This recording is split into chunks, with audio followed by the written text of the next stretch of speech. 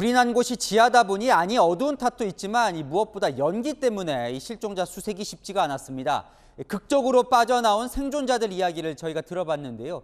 20초 만에 연기로 가득 찼다고 합니다. 이 긴박했던 상황 신선미 기자가 이어갑니다. 불이 난 현대 아울렛 지하 1층 주차장. 시뻘건 불길이 솟구치고 검은 연기가 일대를 집어삼킵니다. 지하층에서 뿜어져 나온 연기 때문에 아울렛 건물 외벽은 시커멓게 그을렸는데요. 불이 순식간에 확산되면서 대피가 쉽지 않았던 걸로 보입니다. 당시 지하 1층에 있다 겨우 빠져나온 생존자는 천장에서 쇠파이프로 두들기는 듯한 소리가 나더니 금세 매캐한 냄새와 연기가 퍼졌다고 말했습니다. 뭐 순식간이었어요. 한, 한 2, 30초도 안 걸린 것 같아요. 검은 연기가 여기 차더니 가라앉아갖고 나도 땅만 보고서 올라온 상황이라서 지하 1층엔 물건을 옮기는 하역장이 있습니다.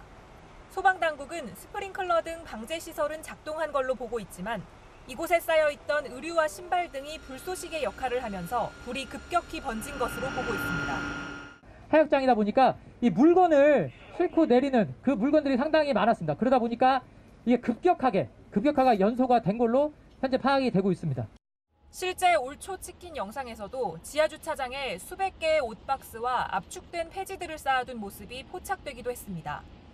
현대 아울렛은 또 지난 6월 진행된 소방 점검에서 유도등과 경보음 등 20여 가지 위반 사항이 지적된 걸로 드러났습니다.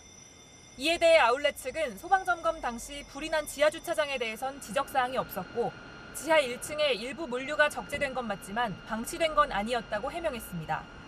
채널A 뉴스 신선미입니다.